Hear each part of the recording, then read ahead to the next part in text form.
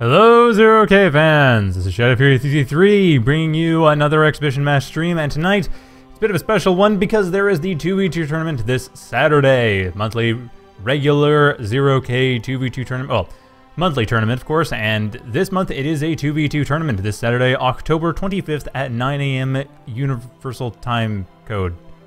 Yeah, 9 a.m. Greenwich Mean Time. Basically, it's 9 a.m. UTC, so convert that to whatever you want. It's 2 a.m. Pacific Standard Time in North America. It's about, well, 9 a.m. around 9 or 10 a.m. in Britain. I think 11 or noon in Germany. Australia, it's more on the lines of 5 p.m., I think. Anyway, actually, I think it's 7 p.m. Anyway, so look it up on Zero K forums and well, Zero K website. It'll be a main page news post. There should be a time converter on there, so you can get the time in your local time zone. And feel free to join up. I mean, yes, it is a tournament, but it is well, it's two tier tournament. So find someone you're comfortable to play with, join up with them, and should be a blast. So. Because of that, we're going to have a 2v2 exhibition stream, a few 2v2 replays that I've found that look like they should be fairly interesting. And the first one is going to be between Fireneb and PAK and Svatopluk and Bellamorte on Into Battle. Without further hesitation, let's get to it. Well, okay, mostly without further hesitation, let's go. Okay, there we go. Obs in, and we have so Firenab in the northeast side of the map going for air immediately. Trepak going for jump bots, Svatopluk going for light vehicle factory, and Bellamorte going for light vehicles as well. So double air versus double, oh, sorry, jump and air versus double light vehicles, which unfortunately are not really ordered by team. That's okay. That I'll have to, or ally team, I should say. That that I should talk to car repair about. But anyway, coming in very quickly, Trepak and Firenab, or PAK and Firenab coming in Firenab coming in with a very quick Raven, while PAK coming in with a couple of Pyros. Svatopluk having very little to defend. There's one defender, and that's about it. Svatopluk being the stronger of the two, as you can see by the Elo rating. Both players are quite logically targeting them first, while Bellamorte, on the other hand, gets a decent amount of time to build up, going for very quick early Scorchers. And actually, Svatopluk and Bellamorte, Team Red, is doing pretty well for economy. And good choice in the early leveler as well, to get rid of those Pyros. A lot of strength, a lot of firepower. Don't have to worry about missing the pyros, which obviously jump around a lot. Can be difficult to catch. Good choice there by Svatopluk. At this point, however, the big problem is going to be these ravens. There's already one that's been floating around. Well, the one here has been floating around. Second one being built up. And Treb, sorry, PAK, Treb, I guess being a clan tag, usually it is. Pack building up Freakers, going pretty heavily for economy, while Bellamorte coming in with Scorchers along the north side. This should pot actually will no. It looks like this won't distract Firenab. They are going pretty solidly for these Ravens to the southwest, which means Bellamorte has a decent amount of room here. And Firenab, what do they have for vision? They do not know this is coming. They have no idea this is coming. No radar, nothing. And now they finally know. It's come up. They've just seen it, and I shouldn't say finally because they wouldn't have had any reason to see it before. But now they see it, and Bellamorte actually losing one of the scorches pretty quick to that Lotus. But getting rid of the Lotus now, and should be able to get rid of the Air Factory right away. Fireneb's commander not even close. One of the Ravens coming back, both Ravens actually being damaged. Svatopluk having set up in the southwest a bunch of defenders, and Fireneb about to lose their Air Factory. Down it goes. The Air Factory goes out right away. And I think we might start seeing the typical Firenab resign strategy. I really hope we don't, but that's a typical thing. And it looks like, actually, well, yeah, Fireneb is actually voting to resign. But that yeah, PAK does not want to resign. And Firenab, yes, we actually do see exactly that. Firenab does go for the classic resign strategy. I mean, seriously, that's something that Firenab does all the time. If Firenab's in the tournament, that's what we're going to see. We saw the last time, actually, that Firenab was in the tournament. So now it is Svatopluk and Bellamorte versus PAK. PAK having double what they need to do anything with it. Why don't you close? Ah, end vote. Don't want that vote. Which how do I? Oh, whatever. I'll deal with that later. Anyway, Pack, I want to get on to get rid of this vote, which I do not need it as a spectator. PAK, however, coming in with another nearly half dozen Scorchers just to deal with the rest of the base here. And there is this one Raven that's coming around. At this point, I don't think... Does PAK actually know what's going on? Well, yeah, they do now. The Ravens do see the Scorchers. The Scorchers are in a really nice position for the Raven to deal with. while at the same time expanding pretty heavily to the southwest, trying to put some pressure on Svatopluk. Though Svatopluk has not really built much. They have a lot of nano frames as walls, but they haven't really been building a whole lot. Okay, it's not necessarily walls. Looks like what they're doing is they're building up a bunch of nano frames for the caretakers to deal with, but building no units, relying entirely on Bella Morte to deal with this, and Bella Morte about to lose all these Scorchers, possibly. Actually, no, no, no. There's enough Scorchers here that if this Raven goes down to attack, these Scorchers should be able to kill it before any damage is dealt. But those Raven, that Raven is not actually doing anything. PAK not using it at all, just flying around, scouting out, not attacking. However, they do have the Stinger set up, which will be a small problem. And by small problem, I mean it's going to be a total pain in the butt. At least for the Ravager. For the Scorchers, shouldn't be the biggest deal. And even then, the Scorchers can get around, hit the Metal Extractors. That's the big money. That's the big ticket item. That's what they want to get rid of. PAK, however, has less, uh, like a 28 metal, 32 energy compared to Svatopluk having 22, partly from Reclaim. So overall, Svatopluk and Bella Morte are a little bit ahead economically from PAK, but not too far actually, not too far ahead of the Pack as it were. While PAK continuing to go for quite a few Pyros, I mean, this Raven, I'm a little surprised, is not going around harassing. And Crasher coming in to finish it off. We'll be able to get to the Raven. No damage will be dealt with that Raven as the Crasher goes the final shot, shooting it down. And at this point, I think that Bella Morte might decide to go for an attack. Looks like they are primarily going for contain though. And over to the south, we do see a nice setup by PAK. PAK just getting themselves ready here. They want to get ready. They want to have themselves set up with all these pyros. And now they're going for the attack with another stinger just in case a counterattack comes in. And the defenders may not be enough. Some Wolverines have already been placed in, and they've just come in trying to get rid of the stinger, but the Leveler is really the only chance that they have. Actually, you know what? The Leveler is doing a pretty decent job. Leveler and the defenders are doing an okay job, but then they're that at the cost of about three defenders. Not the biggest deal. There's enough repair power that it won't be a problem.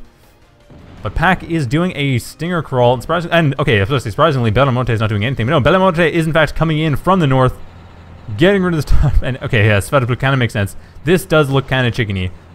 Good thing to point out because, yeah, the sheer amount of defenses and that was many units. I can see that. I've actually not seen Svatopluk play. Evidently, they're quite an experienced player given the Elo rating, but I don't know the name. I I looked it up, I checked the AKAs, and nothing was familiar about it.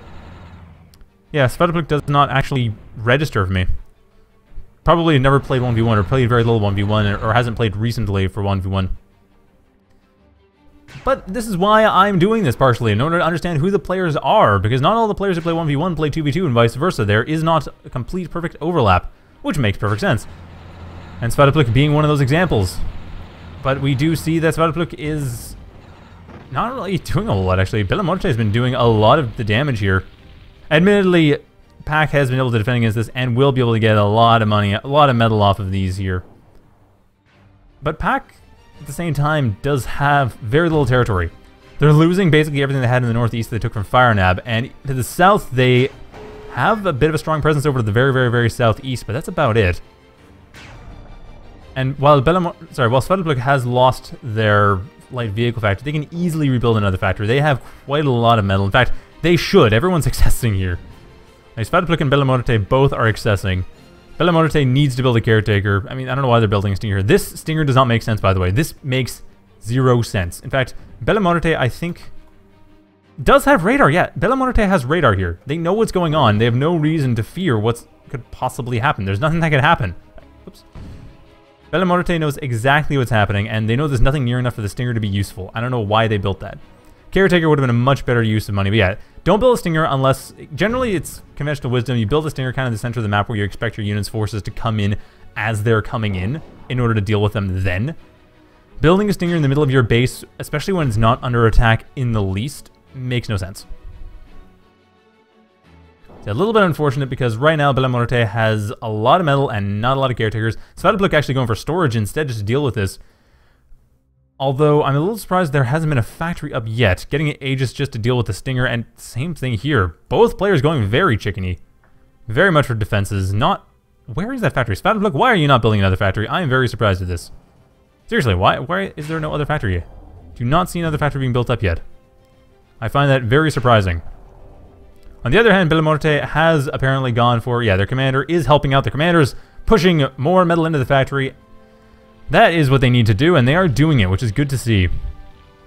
However, there needs to be more levelers. There needs to be, and there are more levelers, which is perfect. There are more levelers. There's some Ravagers, and the Impaler is doing a pretty decent job just keeping this northeast side in check. But after this attack, I don't know what PAK really has. This is the strongest area they have for defenses. Their main base is pretty open, really. I mean, as long as nothing attacks it, they're fine. But if Bella Muerte decides, you know what, I'm just going to attack the main base, just go for it. Just try to take out Trepak's base, or PAK's base. There's a sumo that'll take about a minute or three in order to build, and that's going to be nothing. So Bella Muerte could actually take this out right now, and Svatopluk has not gone for another factory. At all. In fact, the only thing being built from factories right now... What, seriously? Okay, five Ravagers. But the only thing being built right now is Sumos, but no, there are five Ravagers coming in. It's a little odd seeing the, by Elo rating at least, weaker players doing most of the work.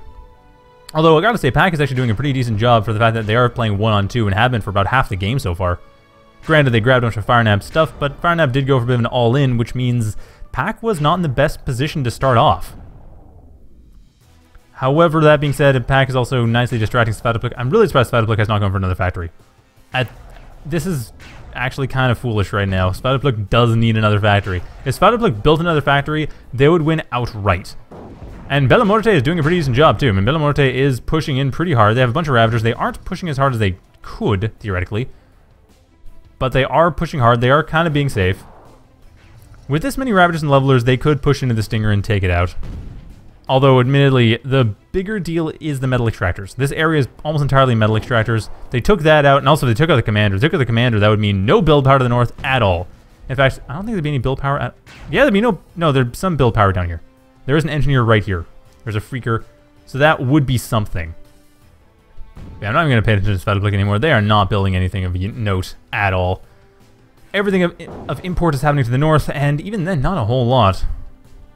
But down goes that one Stinger. The first Stinger is down, and now this is a good time for the Ravagers to come in. Only one Stinger to contend with. Could take out the entire northeast side, and these Masons could come in right after and finish it off. Yeah, there's three Masons here, all of them belonging to Bella Muerte.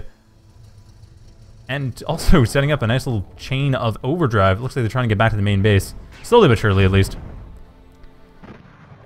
At any rate, Bella Muerte does have one Ravager in here, just dealing with few solar collectors. Stray solar collecting can take it out, no problem. And now Trepak moving their commander in, wanting to repair that Stinger, but this would be a perfect time to move in the Ravagers. Although I gotta say, also moving to the south wouldn't be a terrible idea, like I said. Sumo now up, by the way. Sumo has just been built, so PAK does have the Sumo, meaning that has that window of opportunity has closed. Bella Muerte cannot do anything to the southeast easily. I mean, they have plenty of forces. They can pretty easily do something to the southeast. They just can't do it as easily as they could have about two minutes ago.